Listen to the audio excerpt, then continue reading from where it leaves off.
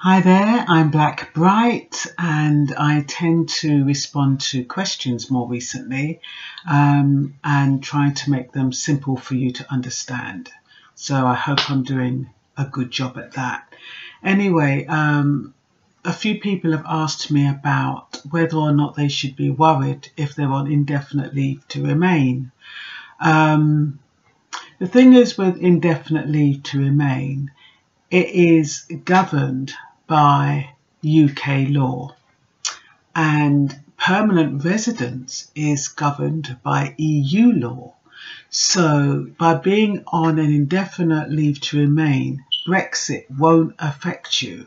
However, the thing is about being on an indefinite leave to remain, it does mean that you are you still have to apply every time that indefinite leave to remain runs out, you know, runs out.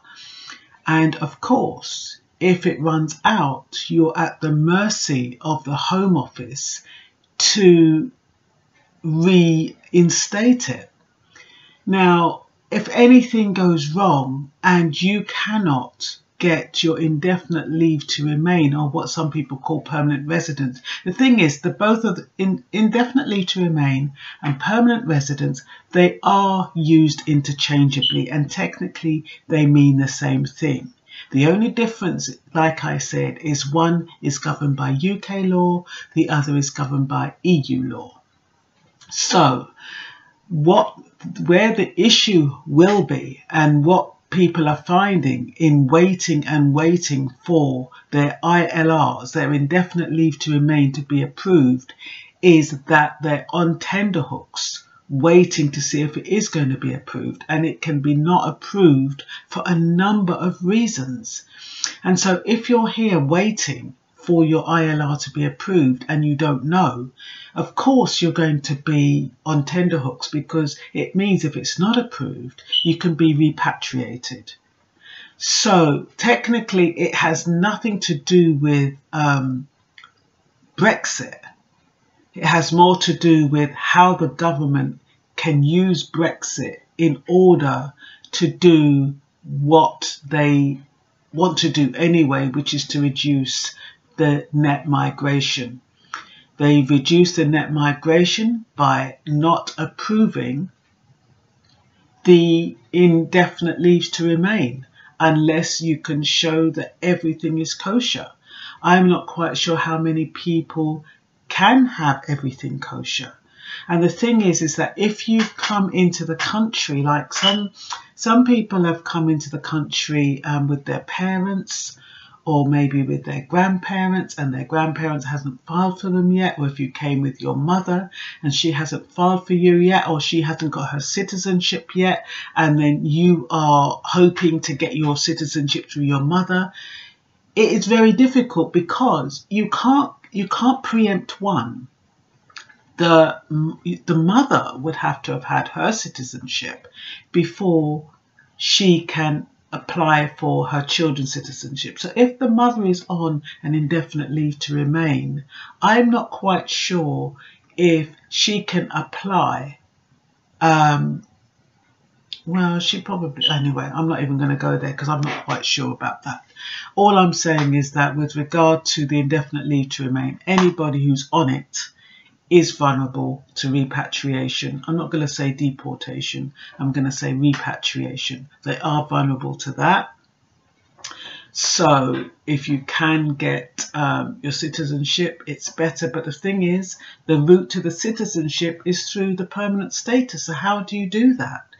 If you can't get that indefinite leave to remain, which leads to the citizenship, you know, you're kind of in limbo, aren't you?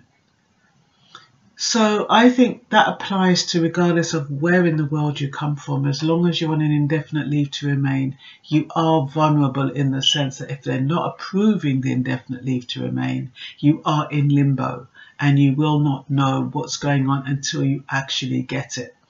You can just hope that if everything is above board and, um, you know, all your papers are in order and you know all those lists of things that I've said in so many of my video videos your moral conduct no time no no more than um, 480 days out the country, all those kind of stuff. You know, providing everything's up to par, and you will know that because it is written in the forms what the criteria is. And if you go on any website and ask what the criteria is, it will tell you. The only thing is, is that when it does tell you, it's very, very superficial. So it's like, for example, if you're going to be um, filing for your children who are abroad, and you say you're, you've been responsible for them and they've been abroad for quite a while and you need to bring them over, you're going to have to show daily what kind of involvement you've had with that child and you're going to have to prove it. It's not enough to send them money every month.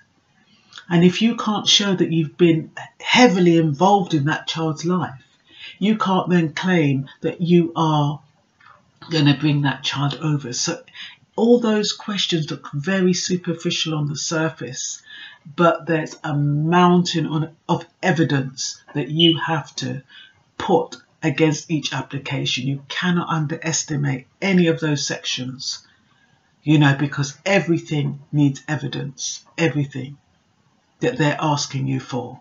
And nothing is frivolous. You cannot put forward any frivolous applications. And that's why I always say, you know, you need a lawyer. Make sure you get an approved lawyer. The Law Society can recommend.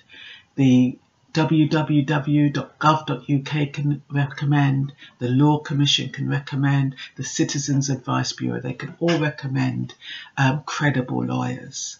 Just don't take these ones that are on, you know, well, if I'm not, shouldn't say it, don't take them, but if you do find lawyers on Facebook or Twitter or Instagram, make sure you check their uh, registration through these organizations I've just mentioned, just so you don't get ripped off.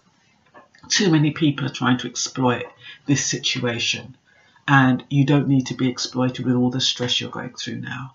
So I hope this is helpful. I hope it helps you to understand, you know, um, what the situation is at the moment.